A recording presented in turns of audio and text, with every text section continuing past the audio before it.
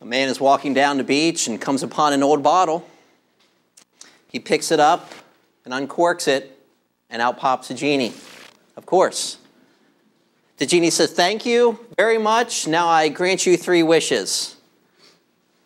The man is very excited. He said, I've always anticipated this moment, and I can tell you quickly what I want. He says, For my first wish, I would like to have a billion dollars in a Swiss bank account. Flash of light, and in the man's hand is a set of numbers to his new account in Switzerland. He says, Number two, I would love to have a brand new red Ferrari right here. Flash of light right in front of him brand new red Ferrari. And he said, For my third wish, I would like to be irresistible to women. Flash of light, and he turns into a box of chocolates.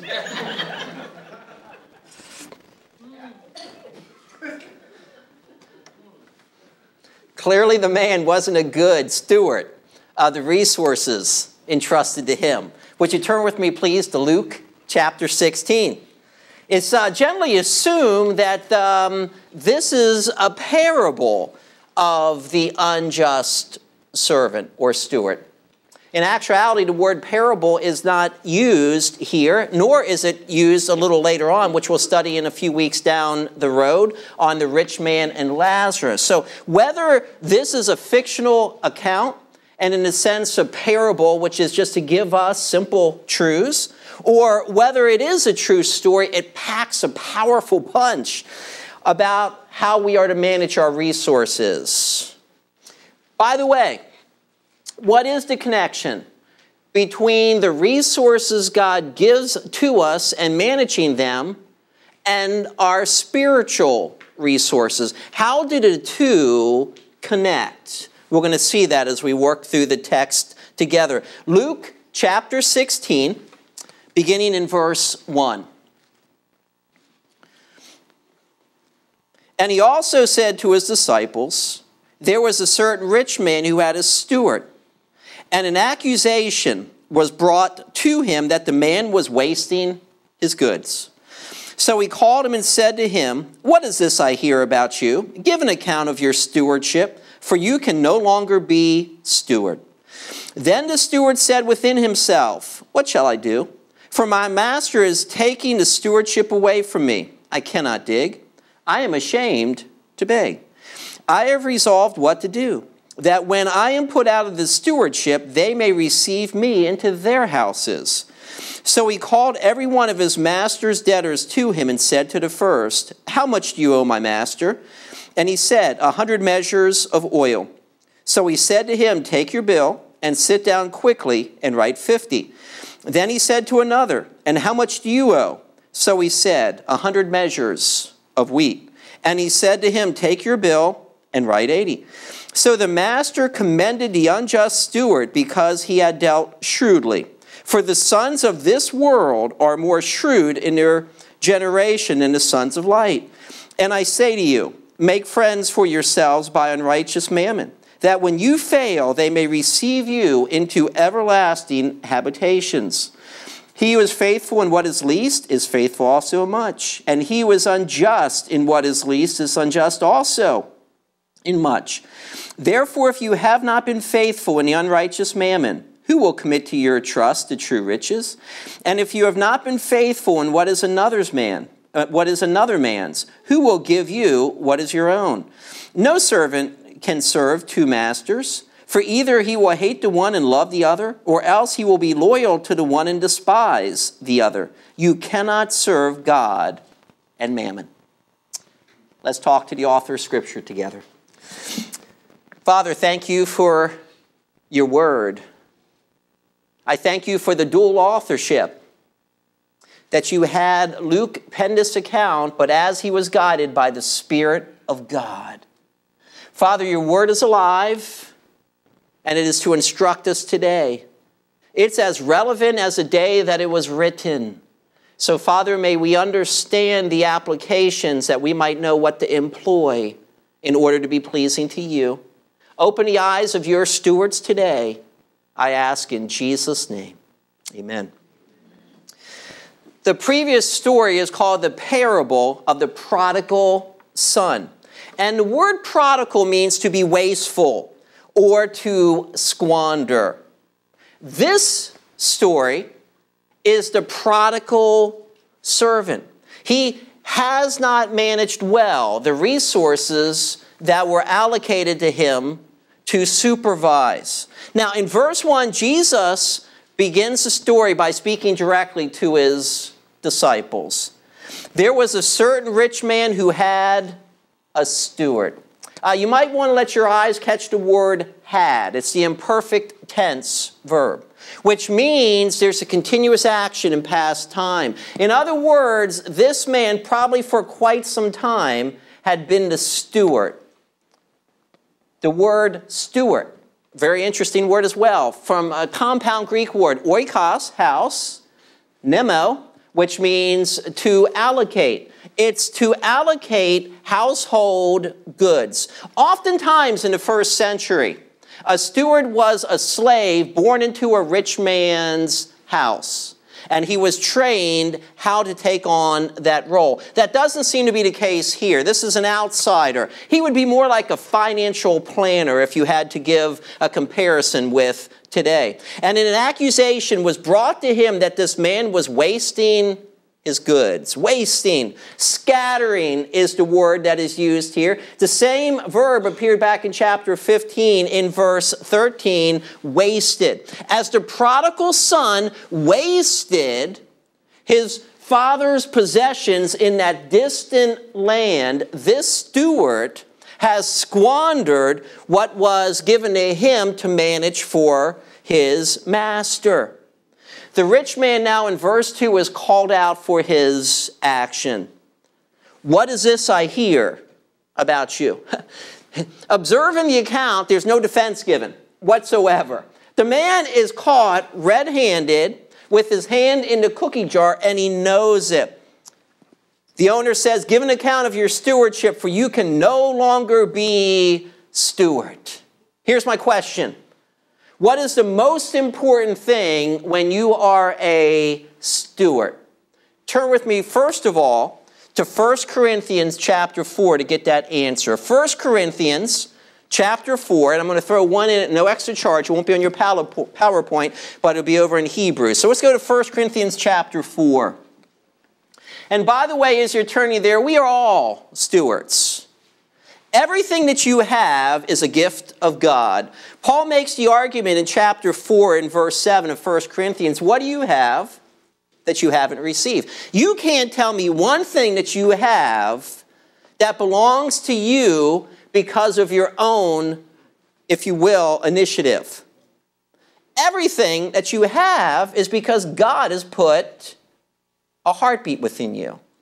Because God has given you a skill set because God has given you the energy to go to work and produce. Or God has given to you at the moment of your salvation a spiritual gift or spiritual gifts in order to serve the body of Christ that they might build. Whatever you have, whatever you have, if you're honest, has come from God. So Paul writes here in 1 Corinthians chapter 4 and verse 1, let a man so consider. And by the way, that's a command. Paul is commanding the Corinthians to consider us. Who's us? Paul, Apollos, Cephas, as servants of Christ and stewards of the mysteries of God. Today, when people are asked, What do you do for a living? and some say, I'm a minister, as if that was a title that gives people the pause to go, Oh, great you.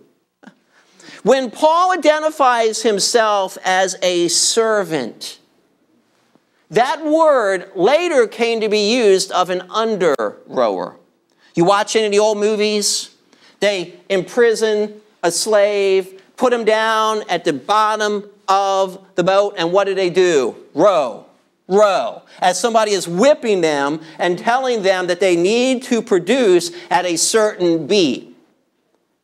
That's how Paul describes himself and his associates as servants of Christ and stewards of the mysteries of God. Listen, you know what has been entrusted to you?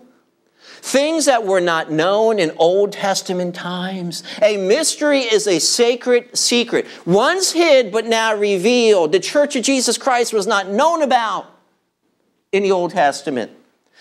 To us has been given the mystery of understanding that one day the Jew and the Gentile would become one, one body in Jesus Christ.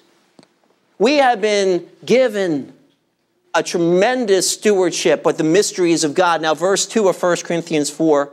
Moreover, it is required in stewards that one be found. Everybody, give me the last word. Faithful. Faithful. Okay? You're a steward. There is one thing that God wants from you more than anything else. He wants you to be faithful. And you go, I can do that. Because it doesn't have to do with ability. It doesn't have to deal with a skill set. It doesn't deal with a great intellectual capacity. It's just very simply what has God given you to do? Now be faithful in what He has entrusted to you. And you really need to be sitting down and you need to be asking yourself, how am I doing with my time? God gives us all the same investment, doesn't He? 24 7.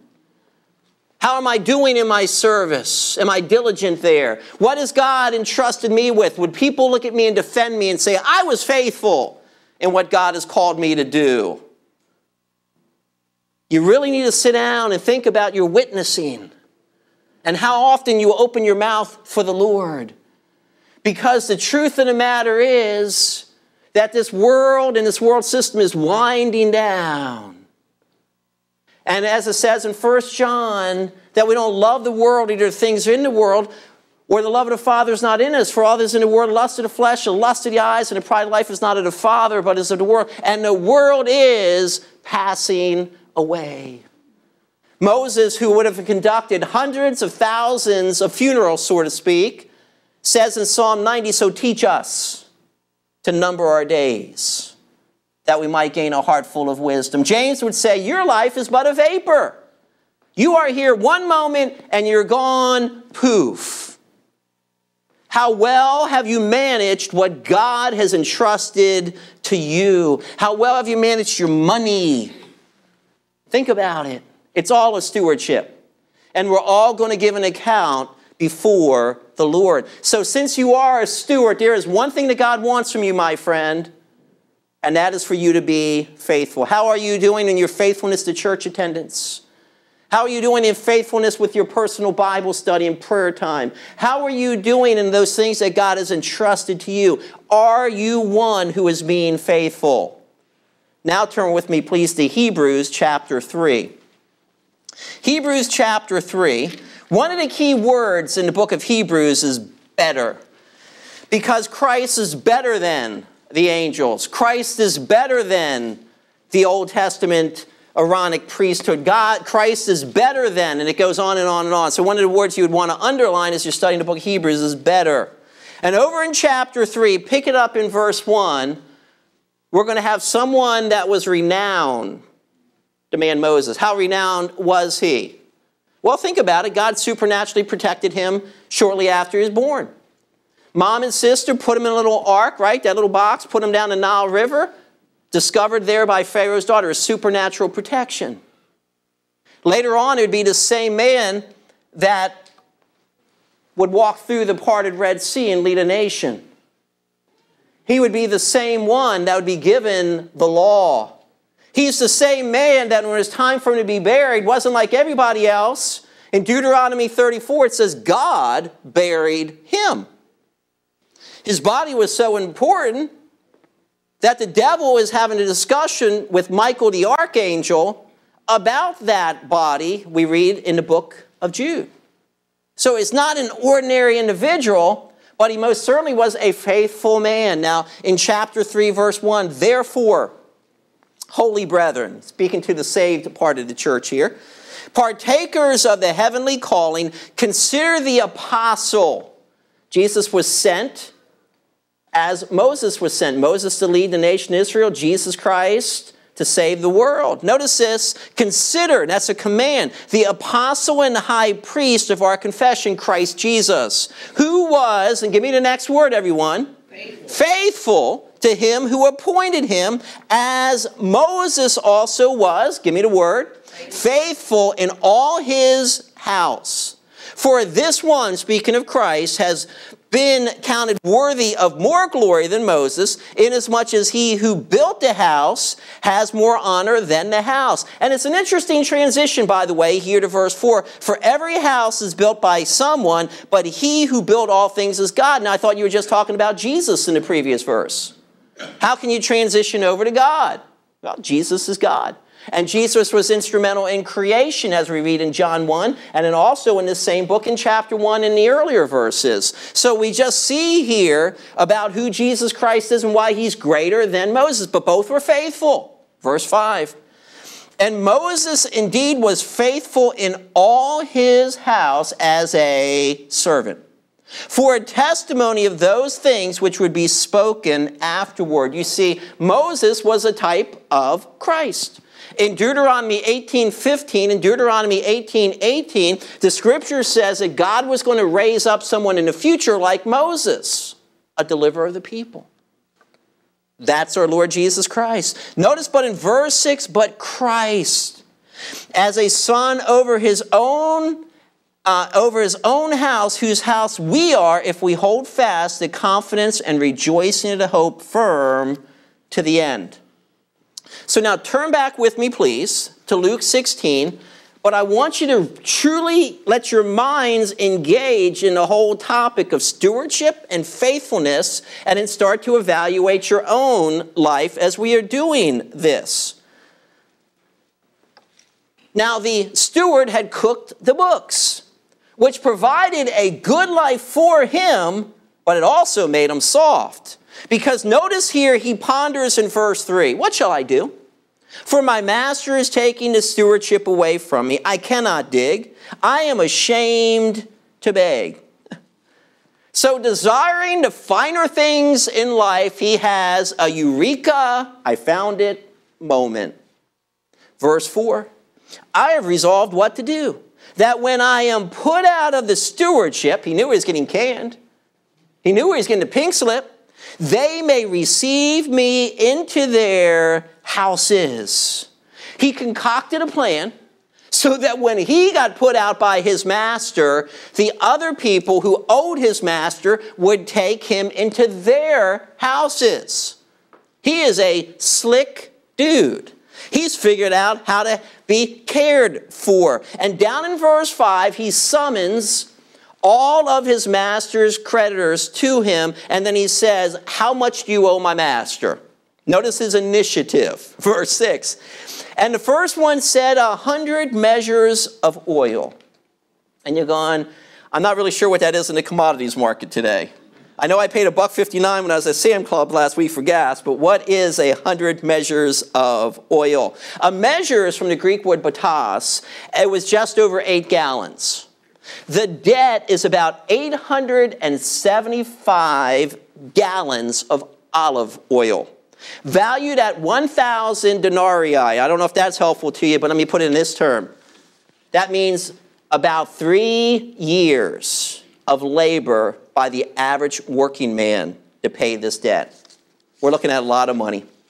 So, in the second half of verse 6, so he said to him, Take your bill and sit down quickly and write 50. Did he discount the price? Did he remove the interest? Did he take off his commission? I, am not sure how he did this, but one thing is clear he is endearing himself because he's really cut a lot of money off of the price of the creditor. Then he turns to the second, verse 7 and how much do you owe? So he said, a hundred measures of wheat. Now, a measure is from the Greek word koros. Uh, kor is a Jewish measure for grain, flour, etc., and equals 10 to 12 bushels. So 100 measures would cover about 100 acres. A debt between 2,500 and 3,000 denarii. Break it down in years, 8 to 10 years of labor for the average working person.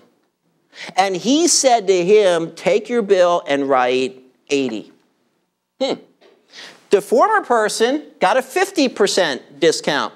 This person only gets a 20% discount. We're not really sure why. Maybe it dealt with the kind of commodity. We're not sure. But then the master doesn't praise the steward for being dishonest. Notice what he does is he praises him for his shrewdness. So when you're dealing with a parable, which most likely this is, you're looking for the central truth or truths that are that is to be communicated. Verse 8 So the master commended the unjust steward because he had dealt shrewdly. And then Jesus makes this assessment, and, and I hope you really sit up and take note of this. This is such an insult to us who are saved, who have the Spirit of God.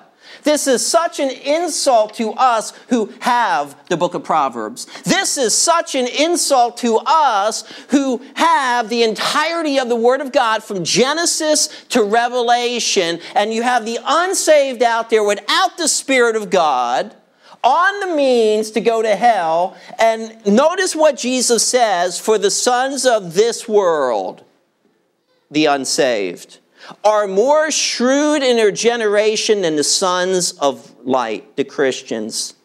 Jesus points out that those without an eternal perspective are more prudent with their assets than the saved. And can I tell you something? After 2,000 years, things haven't changed. I often watch the unsaved manage their money better. I often see the unsaved who set aside monies for their kids' college. I often see the unsaved who provide so much better than many of the Christians I know. And it makes you scratch your head and go, What's up with that? We've got the totality of scriptures. We can see the account even in the Old Testament, like Joseph. He comes into Egypt. And Pharaoh had the dream about the famine, but the, the years of plenty at first. So what does Joseph do? He sets aside in the years of plenty. But no, not in America today. You make 50,000, you spend 60,000. You make 100,000, you spend 120,000. It doesn't matter. We just live for today. We lack wisdom. We haven't picked up what the scriptures teach. We haven't learned even from the little ant in Proverbs 6 that understands that winter is coming. So he gathers up supplies in the summertime to be ready. It's such a correction. It's such a correction that it should make us take note. And now we're going to have three employment points or three applications that Jesus gives to us. I love when he gives us the application. And he does. In verse 9, let me read this to you. And I say to you, make friends for yourselves by unrighteous mammon, that when you fail, they may receive you into everlasting habitations. When you fail, in other words, take your money, use it to reach the lost. So when you fail, when you die and go to heaven, they may receive you into everlasting habitations. In other words, some of those folks are going to beat you to heaven because you've taken your money and you've built a relationship with the waiter or waitress. You've taken your money and somehow you've built a relationship with neighbors, coworkers, whatever. You've been generous in some way, shape, or form. The world can see we're different than everyone else. It gives us the means to use that money to lead people to Christ. And as a result of that, one day we die, and guess who the heavens greeters are? Those individuals that we have been used to lead to Christ. Isn't that exciting? And I see Christians, and I, and I hear it all the time on Sundays. I know waiter and waitresses, they don't like to work on Sunday because the Christians are the cheapskates. They're the ones who come up to them afterwards and says, let me give you a tip, you know, plant corn early next year. And people get tired of all of that. And when I see Christians, sometimes, and, and I've talked to Christians, I remember talking to a particular gentleman. He was having somebody do some electrical work for him, and I said, pay him generously. And this other person who wasn't a Christian came in and said, Well, I'll, I'll do it for you for free. And, and my Christian person I know says, Well, look at the blessing I got. And I thought, You just missed an opportunity to be generous. You just missed an opportunity to show the overflow of the generosity of believers because God loves generous Christians. Use your money, build relationships. You know, it's my privilege to write books, but I pay for every one that I distribute. I'm not one of these famous writers, and you know, they give me a thousand books and say, distribute it. $15 per pop. My Revelation one is coming out. I'm already praying, Lord, give me some money. Why? So I can buy copies. So when I come upon people and I build a relationship with them, and I, I can tell you the people right now I'm praying for their salvation. Why? I gave them a book, it cost me something. So that they can read the book, and if they get, you know, 20 hours where they're into scripture and learning the Word of God, the Spirit of God, that's a lot of time. You know, you get a track, it lasts what? 30 seconds? Spirit of God might do something, may not. It all depends, but you plant a seed, and that's the right thing to do. Oh, but to give somebody a book, or to buy somebody something of Christian value like a Bible, you get the idea. And you give it to that person, and all of a sudden they're telling you they're reading it. And they're giving you reports about, well, I didn't know that, or this is new to me. And you can just sense the Spirit of God working, but it cost you something. But imagine that person coming to Christ. Imagine when your time is up and you're transported into the presence of the Lord and that person is there to greet you. Now, is that a good use of your money? It's so much better than what I see Christians spend their money on. They're out at Joe's Crab Shack when they can't afford it, and it's a regular thing to be eating high on the hog. And you know, what used to be a special occasion for Christians where we would go out occasionally and have a nice meal has become an everyday fare for a lot of people I know. And it's a shame because they've worshiped themselves and idolized themselves and pampered themselves more than ever doing anything for God. And God says those folks, Christianity is shallow. So I'm encouraging you. And here's point number one. Let me give it to you in this way invest in the lost for them to become heaven's greeters. Let me say that again. Invest in the lost for them to become heaven's greeters. I've seen people come to church through generosity with tips. I've seen people have a Christian witness because of just being generous in your outreach. And you folks, you need to be thinking this through. How can I use the resources God has given to me in order to lead ones who don't know Christ to Christ so that they can greet me one day if they get to heaven before I do? Something to think about. Our second point, let me give that to you. Faithfully invest your money to accrue spiritual dividends. Faithfully invest your money to accrue spiritual dividends. Let me read verses 10 through 12 and I'll explain this to you. He who is faithful in what is least, by the way, that's for money, that's least, is faithful also in much. And he who is unjust in what is least is unjust also in much. Therefore, if you have not been faithful in the unrighteous mammon, who will commit to your trust the true riches. And if you have not been faithful in what is another man, see, because we're all stewards, who will give you what is your own? What I would say to you is this establish a budget.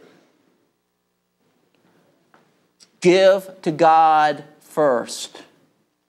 And for those of you getting older, finish strong.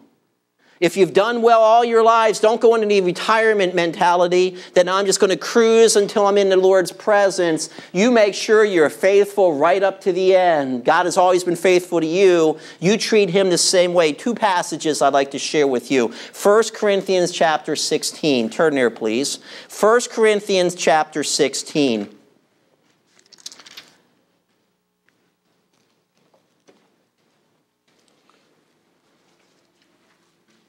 Pick it up in verse 1. 1 Corinthians 16 in verse 1. You'll find the two uh, English words now concerning. It's a peri de construction, which there's a new topic being introduced. Paul uses it throughout 1 Corinthians to do this.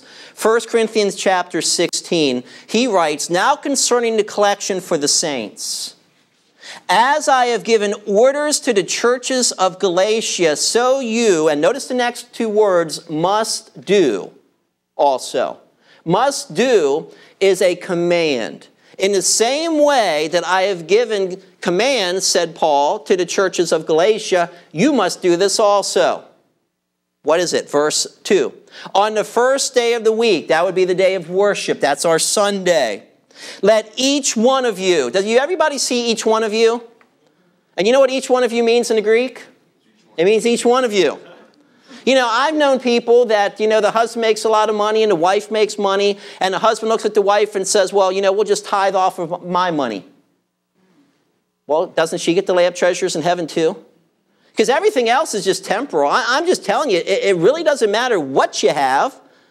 The trophies fall apart, the degrees, the letters start to fall off. The houses and the properties, one day, according to 2 Peter chapter 3 and verse 10, are going to be torched. This world and this universe as we know it are going to be burned up. So, what is remaining?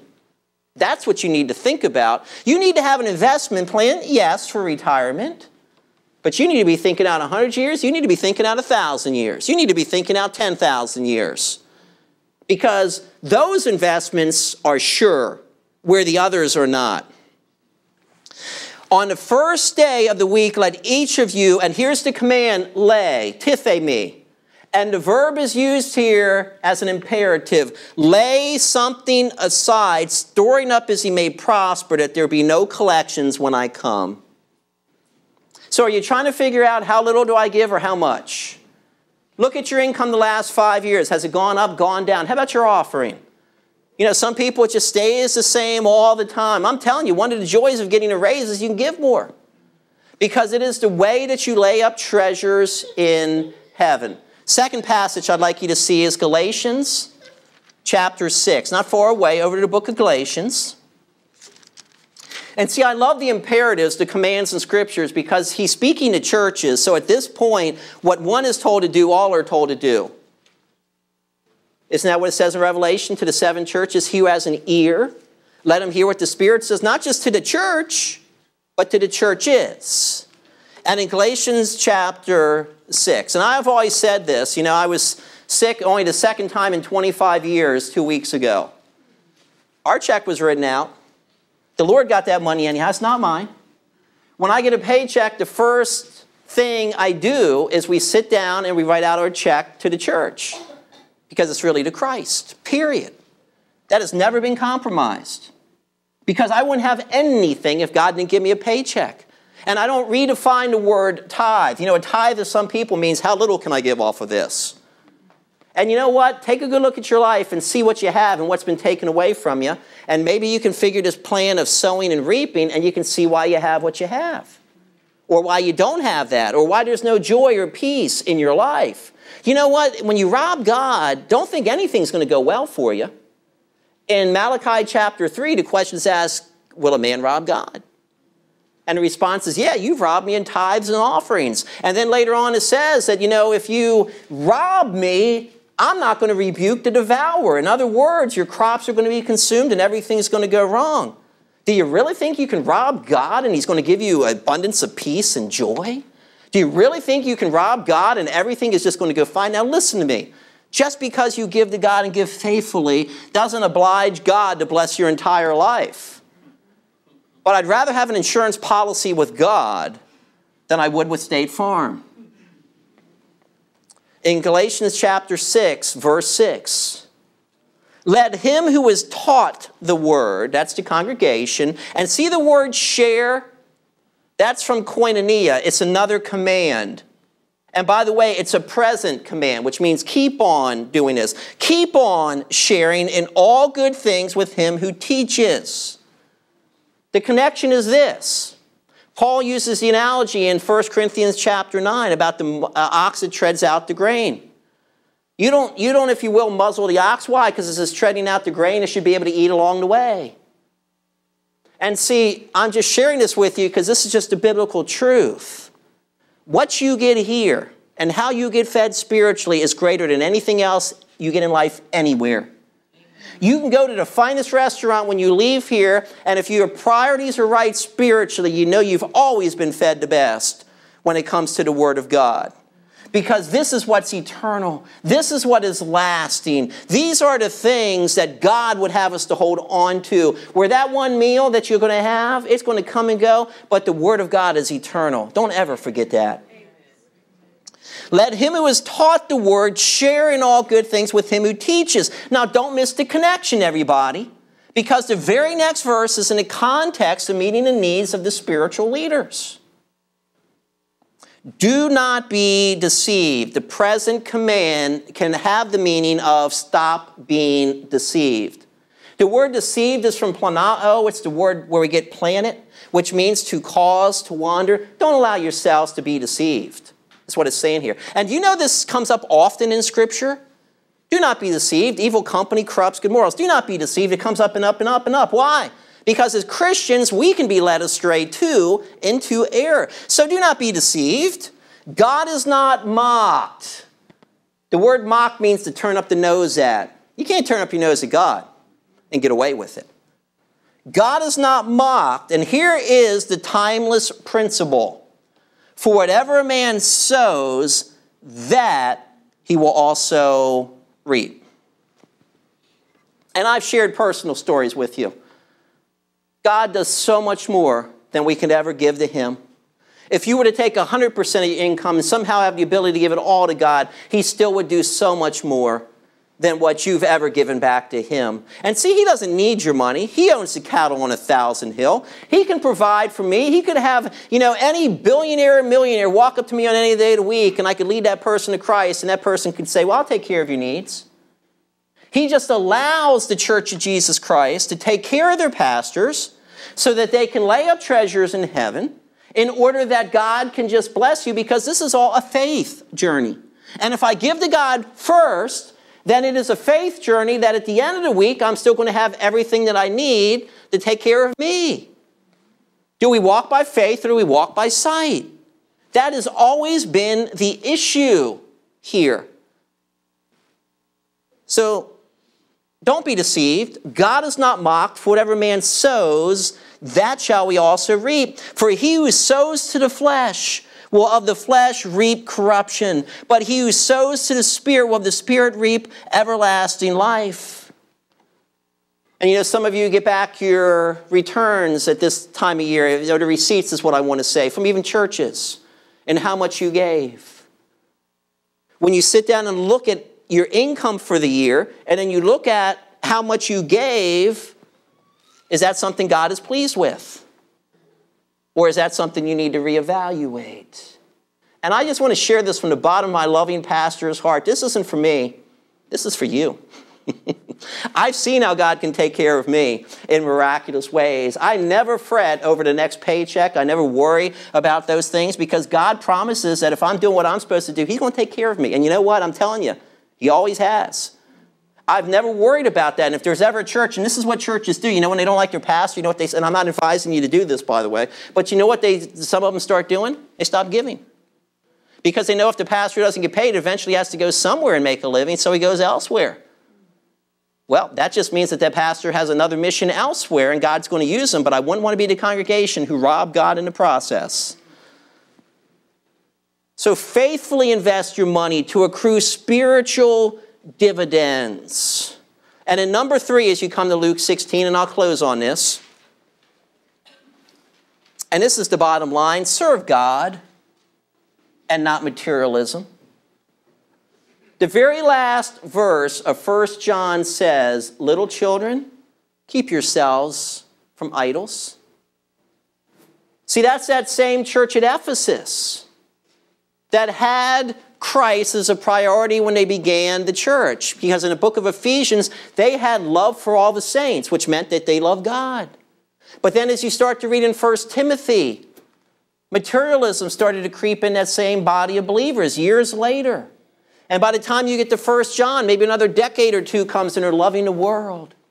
And then you get to Revelation chapter 2, and it is so bad, Christ says, You've left your first love. Materialism, I think, crept in on their hearts, and he was threatening to close their church because they didn't keep him as a priority. So you serve God and not materialism, because verse 13 says, No man can serve two masters. And by the way, who's your master? Well, you see what you gave to the Lord's work, evaluate that if you honored him as you should, and if not, then take a look at the rest of your income and see where your money's went. And there you will find your master. It's that simple. It's not a hard thing to do if you want to be honest about it. And I'll tell you something rather God hit you between the eyes if you have another master right now and let him deal with you because he's a wonderful God and we confess our sin. He's faithful and just to forgive us our sin and cleanse us from all unrighteousness. He is. He's wonderful like that. But don't presume upon him. Because remember in, in Luke 12, the rich man, and he has so much and he, he doesn't know what to do with it all. Does he give it away? No. He says, I'm just going to go build another barn. I'm going to store up more for me, for me, for me. And that night, the voice comes from heaven and says, Your soul's required of you now. Who then will own the things that you have stored up? Don't ever presume upon God. So no servant can serve two masters, for either I hate the one and love the other, or else he will be loyal to the one and despise the other. You cannot serve God and mammon. And my dear friend, would you bow your head? Would you close your eyes?